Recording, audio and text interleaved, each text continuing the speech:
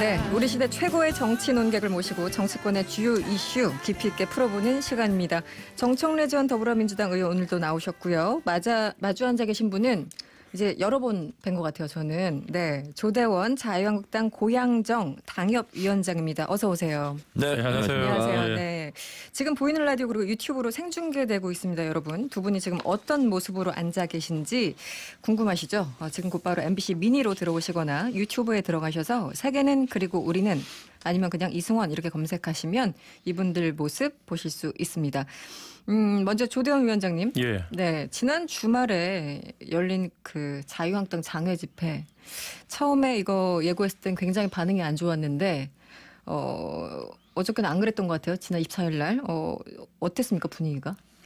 처음에 그 장애 집회 또 한다 그래서 네. 사실 저희도 당에서 이렇게 통보받기 전에 언론을 통해서 이제 얘기를 듣고 네, 뭐 사실 말은 못하고 네, 네, 속을 속에서 많이 이렇게 소가리를 했죠. 그랬죠. 이 더운 날씨에 또 사람들 모아야 되고 음, 또 어떻게 하느냐 무슨 얘기로 또 하느냐 그랬는데 이게 뭐 어느 순간에 갑자기 우리 조국 교수님 때문에 네. 분위기가 확 바뀌었어요. 네. 그래서 아주 즐거운 마음으로 집회 잘하고 왔습니다.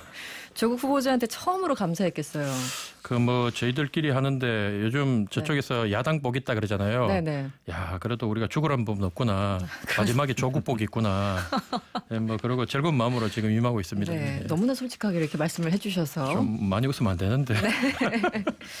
그나저나 뭐 자유한국당조차도 좀 스스로 놀랐다 이런 반응들이 있었어요. 이렇게 많이 나올지 몰랐다 이런 반응들을 내부에서 한다고 하는데 어, 많은 시민들이 집회에 나온 배경 뭐 조국 후보자 일이 가장 크겠지만 그 더 다른 더 다른 이유가 있었을까요? 조국 후보자 외에? 뭐 일단은 저기 이 정부에 대해서 이제 바닥까지 봤다. 음. 예. 뭐 기대가 크면 또 실망도 더 큰 거 아닙니까? 네네. 그래서 원래 기대가 없는 사람이 잘못을 하면 뭐 원래 뭐 저런 놈이니까 보다. 뭐 이렇게 음. 얘기했지만 네. 사실은 국민들이 그동안 그 자유한국당 옛날에 그 보수 정권에 대해서 많은 실망을 하고 어 사실은 이 탄핵이라는 그런 과정 우리가 초유의 사태를 거치고 대통령이 임기도 못 마치고 음. 감옥 가고 이런 과정을 보면서 어쨌든 마음 둘 곳이 없다 보니까 우리의 네. 희망으로 네. 민주당을 선택하고 거기에 가장 아이콘이 개혁과 정의와 공평, 네. 공정의 아이콘이 저기 조국 교수님 아니었습니까? 근데 그게 이제 무너지고 나니까 음. 분노와 실망이 엉켜서 한꺼번에 그래 된 것 같습니다. 네. 정청일 의원님 네, 하실 말씀이 많으시죠? 그다지. 그다지 점점점입니까? 네, 네. 집회 규모가 커질 거 예상은 하셨습니까? 어떠셨어요? 어, 조대원 위원장도 말씀하셨다시피 네. 자유한국당이 총 동원령을 내렸죠. 음, 그래서 사람들이 많이 갔지만 또 네. 어, 그렇지 않은 일반 시민들도 일부 좀 음. 합류한 걸로 알고 있습니다. 어, 지금 조국 법무부 장관 후보자에 대한 어떤 어, 민심의 반영 뭐 그런 측면은 좀 충분히 있었다고 좀 보고요. 네. 저도 사실은 장외 집회하면서 남의 당이지만 제가 걱정을 했던 것이 또 이렇게 아무 말 대잔치 막말 시리즈가 나오지 않을까 음. 염려했었는데 자유한국당이 그런 부분은 전에보다는 좀 조심하지 좀 않았는가 절제를 했다. 네 그런 생각이 좀 들었고요. 네. 어 그리고 여든 야든 어쨌든 음, 민심은 겸허하게 수용해야 되는 거고 음. 또 국민의 외친 목소리 네. 그것을 다 아, 정치적인 의도가 있다라고만 말하기에는 음, 그렇지는 않은 국면이 음. 아닌가 그런 생각이 좀 듭니다. 네. 그 조대원 위원장님 가장 그 와닿는 워딩이랄까 이게 집회 참석자들이 여러 가지 구호를 외치잖아요. 예, 예. 가장 와닿는 것 혹은 가장 많이 외쳐진 구호 어떤 것들이 있었습니까? 저는 뭐 유명한 사람이 아니라서 앞자리를 안 주더라고요. 네. 아 그렇습니까? 저도 뭐 네. 저도 여- 많이 찍혀가 바른 소리 하다가 네. 이런 게 좀 앞자리 가서 사진도 좀 찍히려고 했는데 원체 네. 유명한 분들이 자리를 차지하고 계셔가지고 못 그래도 가고 다 들리잖아요. 그래도 스피커 뒤에서 네. 듣다 보니까 근데 이제 저도 얼굴이 좀 알려져서 음. 많은 분들이 와서 악수를 청하고 얘기를 하느라고 솔직히 그 앞에서 주장한 내용은 잘 못 들었어요. 아 그러셨어요. 못 들었는데 네네. 그럼 딴짓만 하고 있었다는 거예요? 원래 집회 나가면 다 딴짓해요. 네, 뭐 그렇기도 하죠. 막 문자 보내고 막. 네. 근데 이제 시민들 좀 만나 보니 뭐 그런 말씀들 하시더라고요. 몇 개 이제 와닿은 말들이 여러 가지 있는데 음. 한 분이 이제 조대현 위원장님이세요 이렇게 말씀하시고 20대예요. 제가 봐도 아 네네. 네, 그분이 저보고 얘기하시는 말씀이 그 위원장님이 5.18 망은 자들 혼내주셨기 때문에 네. 제가 오늘 이런 자리에 문재인 정부 잘못하는 거 보고 비판하고 같이 혼내려고 이 자리에 떳떳하게 나왔다. 음. 그래서 옛날에 이제 조대훈 같은 사람이 없었으면 네네. 아, 저놈들도 똑같은 놈인데 이렇게 아, 했을 건데 네네. 그래도 저희들 같은 경우에는 그래도 자체 내에서 음. 뭔가 잘못하면 그래도 자정작용을 하고 거기에 저항하고 바른 소리 하는 뭐 젊은 친구라도 있는데 네. 요즘 민주당 내에서는 뭐 그런 것들이 다 사라지다 보니까 음. 국민들이 더 답답하고 힘들어하는 것 같고 네. 그리고 뭐 와닿았던 구호는 뭐 어쨌든 제가 제일 와닿았던 게 그 조국 수석의 그 재산 음. 환원이 아니라 환수다. 환수다. 어, 네. 환수하고 대통령 사죄라 뭐 네. 이런 것들이 제가 좀 와닿았던 것 같습니다. 예.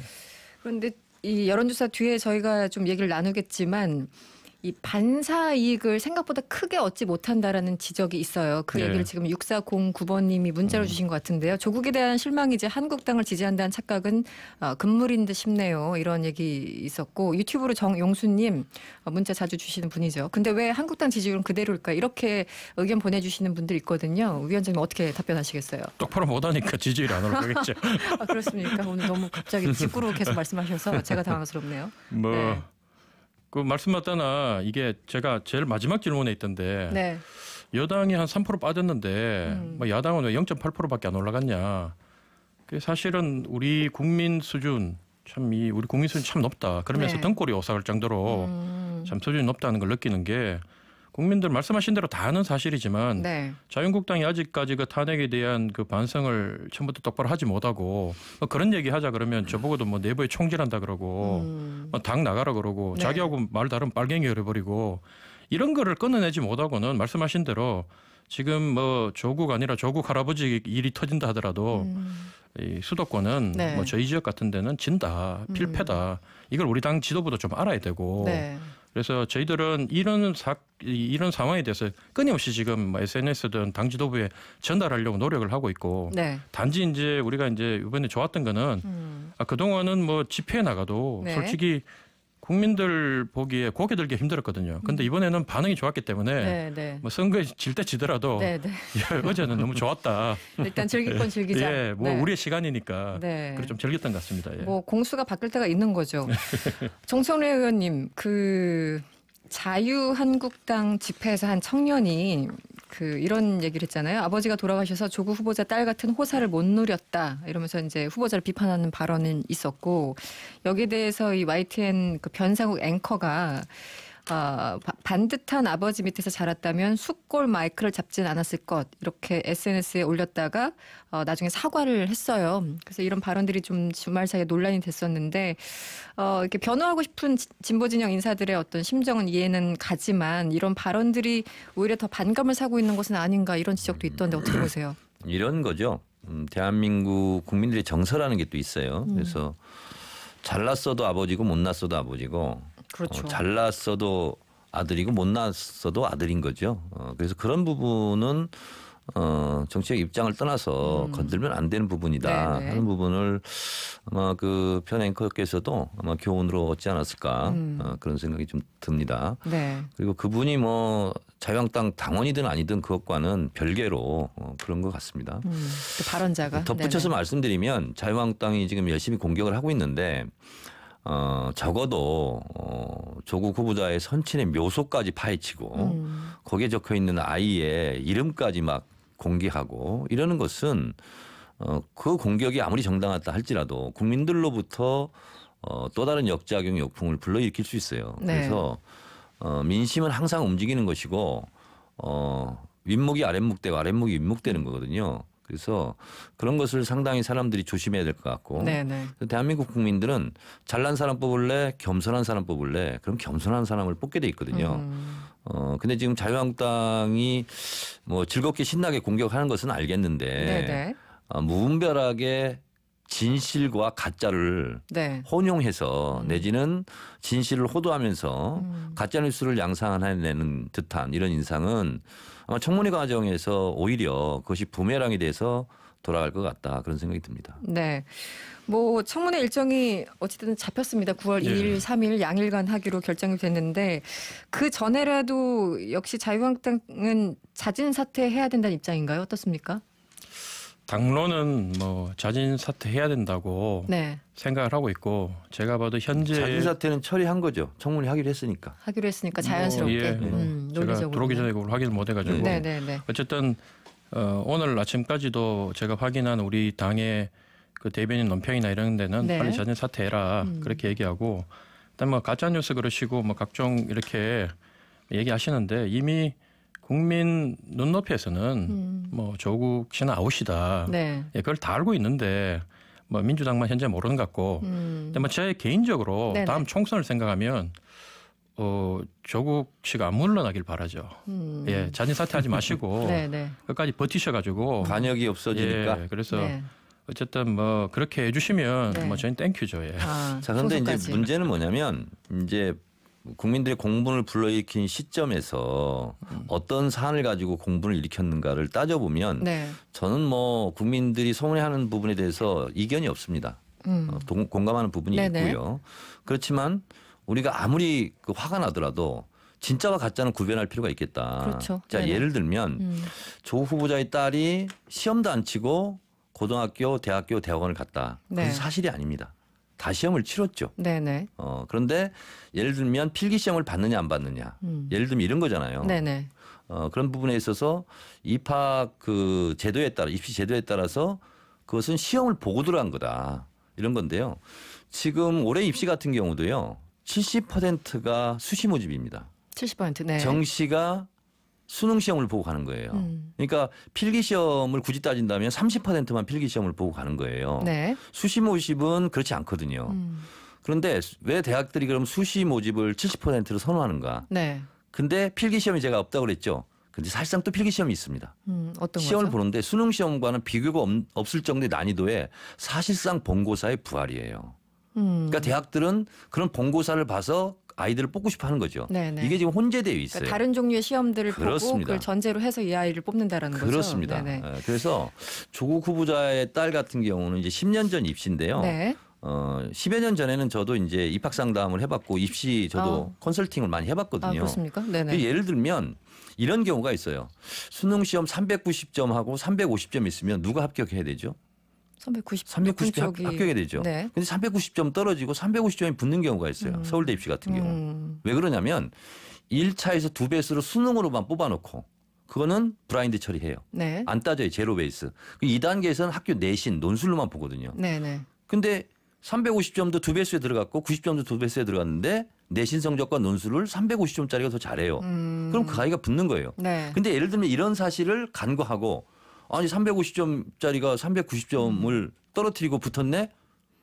입학 부정이네? 음. 이렇게 가면 상당히 헷갈리거든요, 사실은. 당시 제도상 그렇습니다. 그런 좀 부분이 좀 있어요. 있다. 그럼에도 불구하고 조국 네. 후보자가 얘기하는 것처럼 많이 누리고 많이 받고 많이 혜택을 누리는 사람으로서 네. 어, 그들만의 리그에서 그런 부분은 아니했다 하는 부분은 음. 어, 조국 후보자가 사과한 것처럼 그럼에도 불구하고 뭐 진실 이런 여부를 떠나서 어쨌든 국민들이 분노하고 있는 부분은 우리 여당에서 충분히 네. 받아안고 이해해야 된다 이렇게 봅니다. 정천호 의원님한테 문자가 왔어요. 2500번님인데 아, 조국 후보는 이제 놔드려야 되는 게 아닐까요? 안팎으로 힘든데 너무 껴안는데 힘을 소진하는 게 아닐까요? 이게 사실상 어떻게 보면 아까 조대원 위원장님 말씀하신 총선까지 계속하면 땡큐지 뭐 이런 거랑 맥락이 비슷한 것 같기도 하고 아, 6712번님 음, 조국 후보가 아버지로서 한 일은 이해하겠지만 그것이 국민들의 정서와 맞지 않는다면 장관 자리는 포기해야 하지 않을까 이런 문자 주셨어요. 자 그런데 장관 자리를 포기하는 사람이 있고 계속 하라는 국민이 있죠.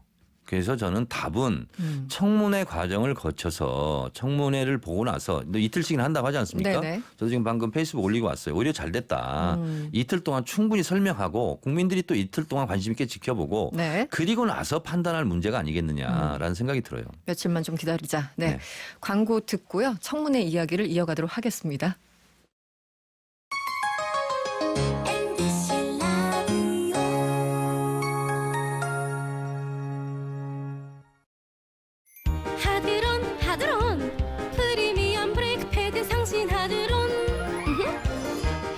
하드론 하드론. 프리미엄 브레이크 패드 상신 하드론. 2018년 금감원 제품 매출 공식 기준 12년 연속 국내 1위. 상신 브레이크 하드론. 당신이 해외 주식을 마음에 두는 순간 글로벌 전문가의 컨설팅 글로벌 리서치 센터의 분석 11개국 글로벌 네트워크의 미래에셋대우 글로벌 인프라가 함께 움직입니다. 당신을 위한 글로벌 팀플레이 미래에셋대우 원금 손실에 유의하세요. Five, four, three, two, two, two. Welcome to 더샵 송도 국제도시 IBD 중심에 기대 그 이상으로 돌아오다 더샵 프라임뷰 더샵 센트럴 파크 3 8월 오픈 예정 1833-2525 포스코 건설 이 가구 어디서 샀어? 코펀 국제가구 전시회에서 샀지. 아, 코펀 국제가구 전시회. 세계적인 디자이너 카림 라시드도 참여한다며? 그래, 나 완전 팬이잖아. 올해도 많은 국내 가구와 독특한 해외 가구가 참여하겠군. 그럼 8월 29일부터 9월 1일까지 일산 킨텍스로 오세요. 경품은 덤. 라디오가 이토록 좋아지면 이야기는 더 생생해지고 음악은 더 또렷해지며 우리 삶은 더 빛나기 시작합니다. 눈부신 하루의 시작 표준 FM FM4U 올댓 뮤직 MBC 라디오 95.9 MBC 라디오 지금 여러분께서는 똑소리 나는 시사 토크쇼 이승원의 세계는 그리고 우리 눈을 듣고 계시고요. 보이는 라디오와 유튜브로도 생중계되고 있습니다. MBC 라디오의 미니로 들어오시거나 유튜브에 이승원의 세계는 그리고 우리 눈을 검색하시면 저희 방송 즐기실 수 있습니다. 구독과 좋아요도 많이 눌러주시고요. 여러분의 참여 언제든지 열려 있습니다. 짧은 건 50원, 긴 건 100원의 이용료가 드는 샵 8001번 또는 무료인 미니로 많은 의견 부탁드립니다. 네, 정청래 전 의원과 조대원 자유한국당 고양정 당협위원장과 정치 토크 이어가고 있습니다. 조국 후보자 얘기하고 있었는데요. 6411번님, 뉘신지 들을만 하네요. 자기 당을 먼저 질책하는 말이 참으로 듣기 좋아요. 조 위원장 두고 하신 말씀 같아요. 저는 힘듭니다. 그렇군요. 내적 갈등이 계속 지속되는 시간. 네. 조우진님, 음, 청문회는 조국 후보자 청문회지 가족들 청문회가 아닙니다. 가족 신상 털기는 한국당에서 필사적으로 어, 막으려고 하는 것 같고요. 민주당도 밀어붙이시, 어, 민주당도 밀어붙이기 식으로는 안 됩니다. 정치권들 반성해야 됩니다. 이런 문자 주셨어요. 근데 진짜 반성할 네. 지점이 하나 있어요. 저는 조국 교수에 대해서도 자꾸 뭐 법을 하겠다 뭐 하는데 그것이 가짜 뉴스든 뭐 진짜 뉴스든 간에 그러면 자유한국당 의원들도 패스트트랙 관련해서 경찰 조사에 응해야 되잖아요. 네. 그건 기본이잖아요. 네. 본인들은 법을 안 지켜요. 그리고 상대방한테만 법을 지키라고 그래요. 음, 갑자기 패트를 얘기하실 줄이야. 네. 네. 저는 그래서 이런 부분이 정치권이 도매금으로 더 욕먹는 것 같아요. 네. 알겠습니다. 그 그나저나 이틀 청문회 조대원 위원장님 이틀 예. 청문회는 과거 몇 차례는 있었더라고요. 생각해 보니까. 예, 저도 뭐 찾아보니까 몇 차례 있더라고요. 네, 보니까. 유시민 예. 전 장관 그때 2005년 노무현 정부 때 있었고 또 박근혜 정부 때도 한 두 차례 있었고 여러 차례 있어서 총 한 여섯 차례라고 총 여섯 차례라고 하는데 어 일단 두 분한테 함께 물어볼게요. 그 이틀 청문회 괜찮은 겁니까? 3일이 성사 안 돼서 좀 아쉽습니까? 어떻습니까? 뭐 저는 이게 뭐 하루 이틀 사흘 이게 중요한 게 아니라 네. 간만에 참 정치가 국민들한테 좀 좋은 모습을 보여줬다. 음. 정치가 작용을 한 거죠. 작동을 네. 그 기능이 작동을 한 거죠.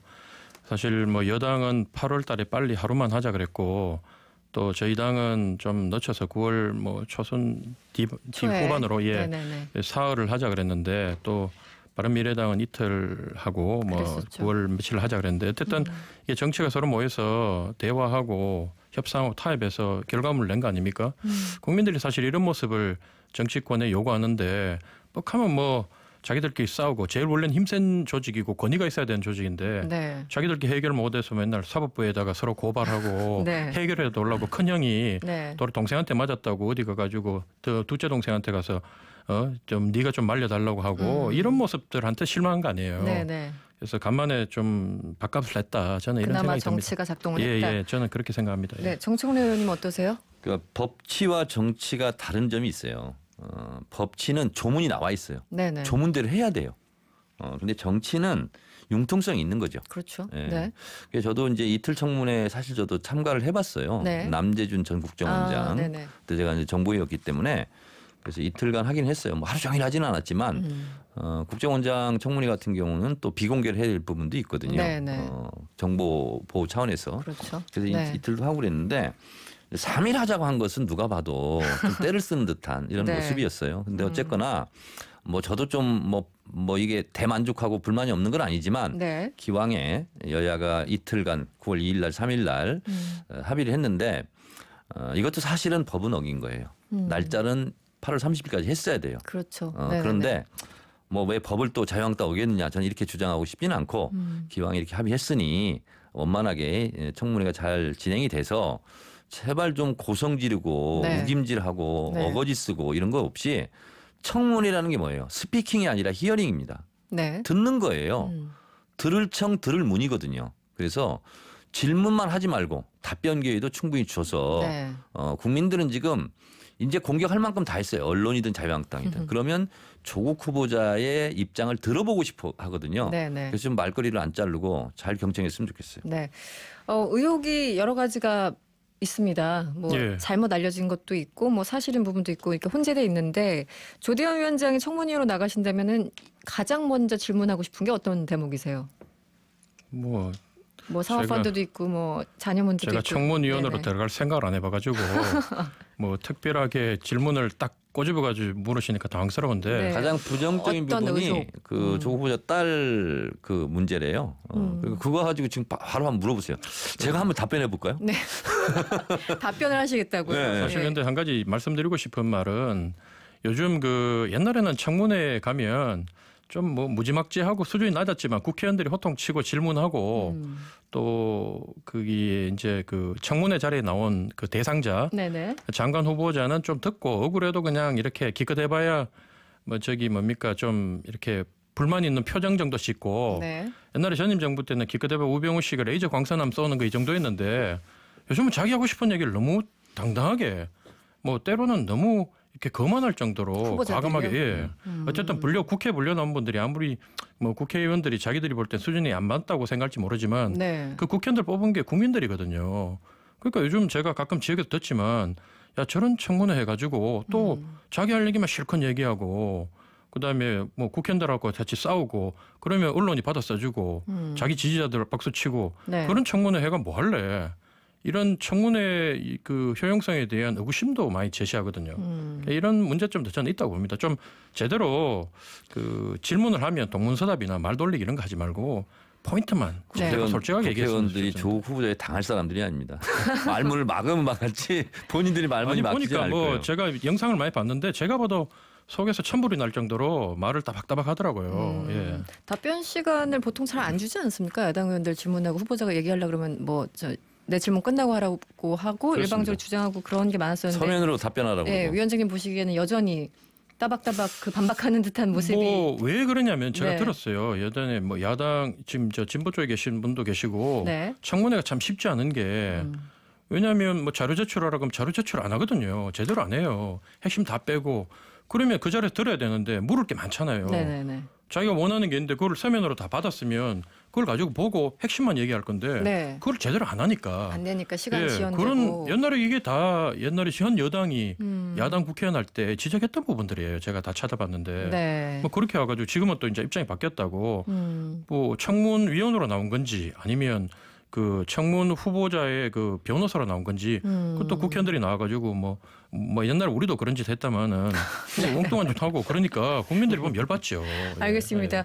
뭐 정현 지금 사실 여론이 가장 그 민감하게 반응한 건 역시 뭐 처음에는 뭐 펀드도 있었고 여러 가지 문제 있었지만 딸, 노- 딸 문제였고 특히 이제 논문 문제가 네. 가장 민감했던 것 같아요. 그거는 뭐 여론상 어쨌든 어 일각에서는 조국 딸의 논문은 철회돼야 된다. 한국병리학회 이사장이 그런 얘기를 했는데 이런 부분은 어떻게 보세요?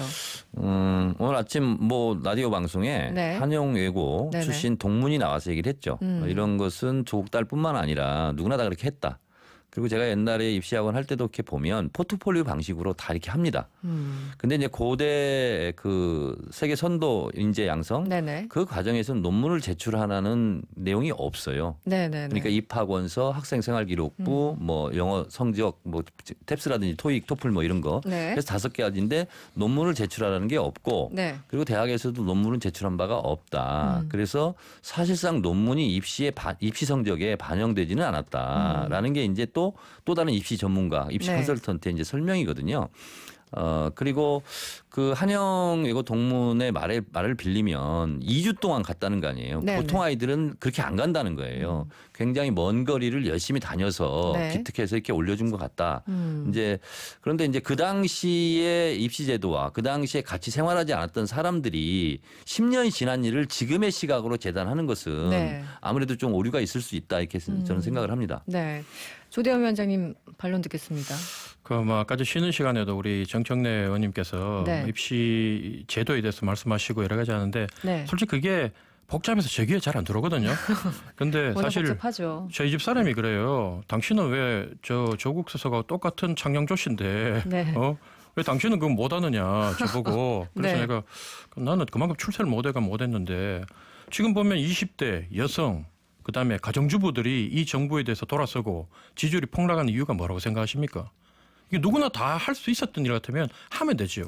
근데 우리 일산 사는 저 후곡 그 단지에는 학원각 학원 200개 있고 그래도 좀 배우고 좀 있는 집안인데도 그 아줌마들도 지금 완전히 지금 화가 나 있는 게 이게 누구나 할 수 있는 게 아니에요 이거는 네. 그러니까 조국이니까 가능하고 맞습니다. 예 조국이니까 가능한 것이 아니라 아빠가 대학 교수 나 의사나 출신이고 외국에 가서 교환 교수를 하거나 네. 외국에 석박사를 과정을 하거나 아니면 외교관의 자녀들은 외국에 가서 거주할 경험이 생기는 거죠. 네네. 그러니까 조국 후보자의 딸은 첫 번째 출발은 그거였어요. 음. 영어를 잘한다는 거. 그래서 어, 초등학교에 들어왔다가 다시 또 중학교 때 나갔다는 거 아니에요. 네네. 그래서 제가 듣기로는 한국말보다 영어를 더 잘한다는 거 아니겠어요. 음. 그래서 그런 기회는 아무나 가질 수는 없어요. 어, 그런 면에서 봤을 때 분명히 우리 서민들이 봤을 때는 상대적 박탈감을 느끼는 게 사실이고 네네. 뭐 저도 저희 아이, 아이한테 그렇게 못 해줬으니까요. 근데 저도 참 이렇게 국회의원하면서 외국 출장 가면 가끔 음. 가다가 외국인 자녀들이 와서 통역을 합니다. 네네네. 그럼 몇 개국어씩을 해요. 아 그런 경우 있죠. 왜 아빠 외교관 따라다니면서 네네. 영어도 하고 독일어도 하고 스페인어도 하고 막 이런 경우도 있고요.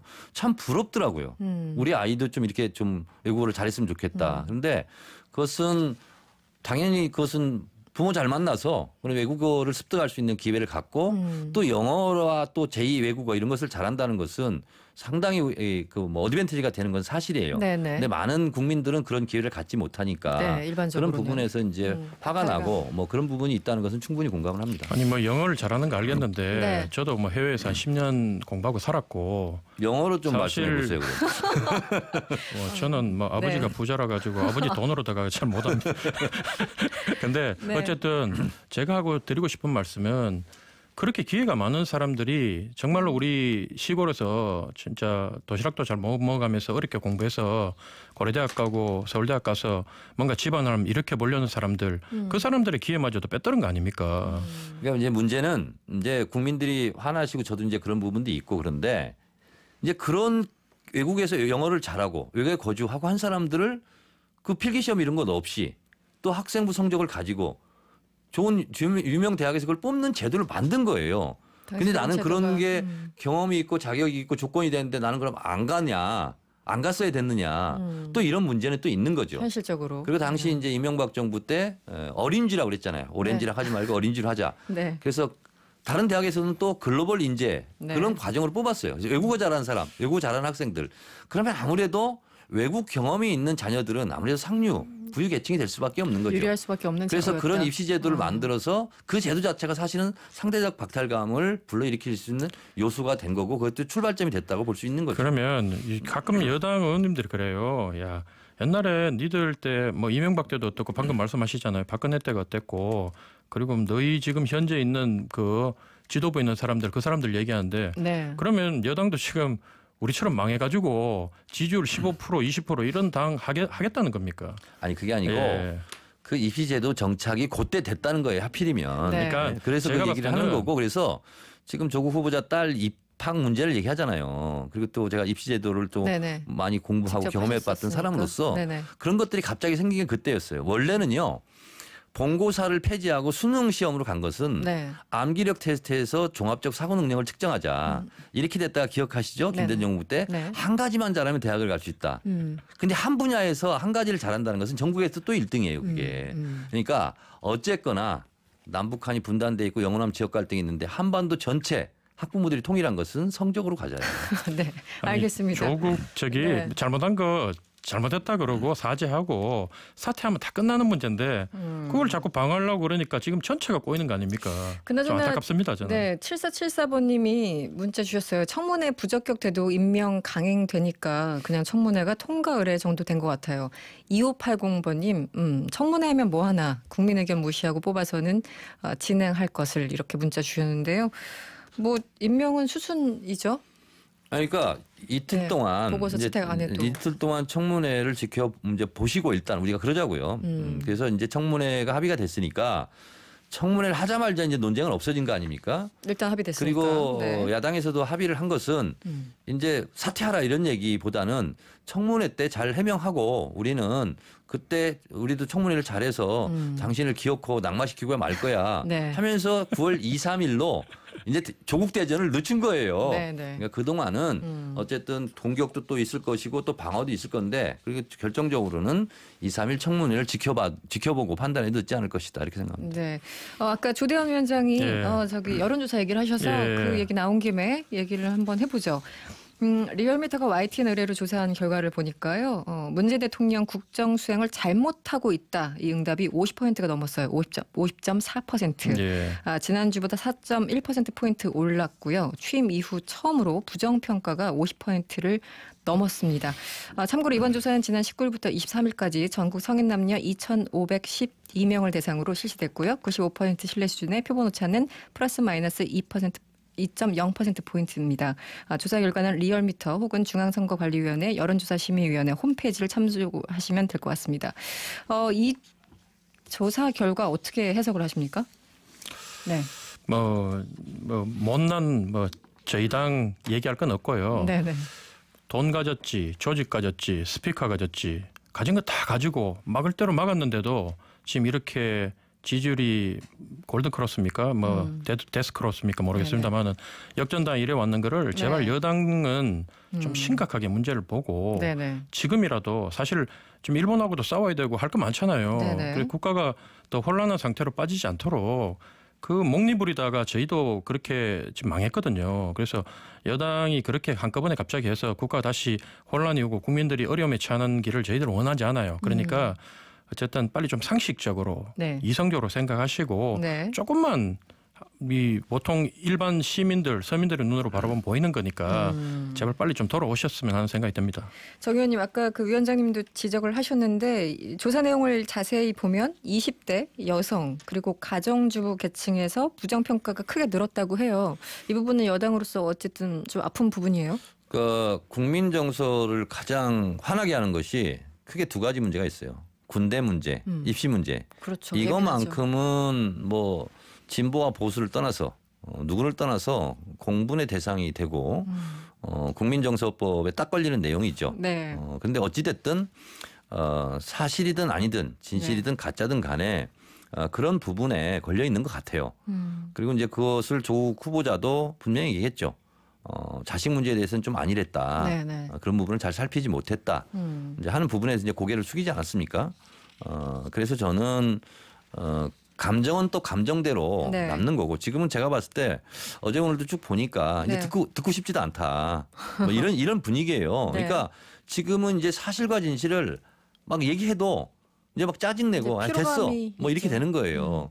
그래서 며칠 동안은 뭐 그러실 수 있는데 어쨌든 어, 청문회 때 어, 조국 후보자가 얘기하는 것을 한번 들어보시고 한번 판단을 해보시자 이런 얘기예요. 그 이런 지금 어쨌든 흐름이 있는데 정 의원님 그 반전 가능성이 있을 것 같으십니까? 임명 강행하면 오히려 지지율 더 떨어지는 거 아니냐 이런 아, 저는 임명 있어요. 강행이다 여- 아, 여- 그 여부를 떠나서 우선 어, 조국 후보의 해명을 국민들이 납득을 하느냐 안 하느냐 이것이 이제 첫 번째겠죠.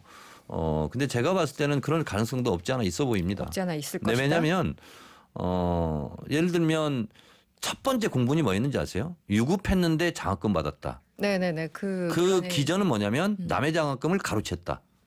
어 비리가 있었겠지 이거거든요. 근데 소천 장학금이라고 그 교수님 네. 그 경조사비 아껴가지고 네. 줄여서 멘토한테 이제 준 거거든요. 근데 팩트는 이거예요. 1학년 1학기가 굉장히 어렵답니다. 낙제를 많이 한답니다. 네네. 그러니까 포기할까봐 과목들이 어려워서 포기하지 네네, 마라. 네. 내가 장학금을 주겠다. 그리고 포기하지 않고 개- 계속 유급하지 않으면 주겠다. 근데 유급을 해서 그냥 끊었다는 거잖아요. 음. 남의 장학금을 뺐거나 이런 건 아닌데 처음에는 그것만 알려지니까 거기서부터 이제 포- 분노가 폭발하기 시작한 건데 알겠습니다. 사실은 팩트는 그거 아니- 아니었다는 거죠. 음. 위원장님 30초 남았습니다. 마무리 그- 발언. 네. 그 없는 돈에 사모펀드에다가 돈 넣어가지고 그렇게 투자하시가 돈 좀 벌시려고 그렇게 돈 좋아하신 분이 갑자기 그 돈 다 환원한다 그러잖아요. 어, 그거 봐도 좀 이상하지 않아요? 지금 보면 음. 이미 개혁을 하기에는 너무 많은 상처를 입었고 네. 사법 개혁하실 적임자로 봤는데 음. 그 가장 큰 힘이 국민의 지지인데 그 국민의 지지를 상실한 사람이 뭘 지금 사법 개혁을 하고 뭐. 법 정의를 세우고 가겠습니까? 그런 알겠습니다. 점들을 빨리 더불어민주당이 좀 아셨으면 하는 마음입니다. 네. 6406번님 청문회가 지금 라디오처럼 잔잔하게 잘 풀려갔으면 좋겠습니다. 참고로. 사모펀드 규모가 공모 펀드보다 훨씬 더 많답니다. 알겠습니다. 지금까지 정청래 전 의원 그리고 조대원 자유한국당 고양정 당협위원장과 함께했습니다. 오늘 고맙습니다. 고맙습니다.